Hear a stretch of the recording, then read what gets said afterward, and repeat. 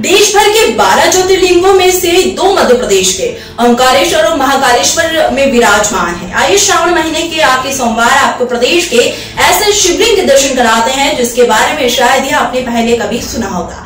यह शिवलिंग भोपाल जबलपुर हाईवे के बरघाटी स्थित डोगर गाँव की पहाड़ी पर है। इसका नाम भी गाँव के नाम पर डोगारेश्वर महादेव रखा गया है। यह स्वयंभू शिवलिंग तीन किलोमीटर ऊँची पहाड़ी पर मौजूद चालीस फीट गहरी गुफा में विराजमान है। इसके सार्वजनिक होने की कहानी भी रोचक है। गुफा से तीन किलोमीटर की दूरी ओम के आकार में माँ नर्मदा बहती है। स्थानीय लोगों का दावा है कि गुफा का दूसरा सिरा नदी के तट पर निकलता है। गहरी होने से गुफा के अंदर ऑक्सीजन की कमी और खतरे की वजह से आज तक कोई सात फीट से आगे नहीं जा पाया है। सक्रिय मुह वाली इस गुफा में शिवलिंग तक पहुँचने के लिए ढलान वाले फिसलने भरे रास्ते से होकर गुजरना पड़ता है। थोड़ी सी भी लापरवाही खतरनाक साबित हो सकती है। गुफा में जाने का मार्ग करीब तीन से चार फीट चौड़ा और ढलान वाला है। अंदर गुफा अंधेरा है। गुफा में टोर्च की रोशनी के सहारे आगे बढ़े तो बड़ी संख्या में चमकादड़ निकल जाते हैं। अंदर करीब 40 फीट गहराई में पहुँचे है। यहाँ जो है शिवलिंग के दर्शन करते हैं। फिर जो इसका निर्माण प्राकृतिक रूप से हुआ है, लेकिन यह रहस्यमय गुफा और शिवलिंग 2010 में सार्वजनिक हुए।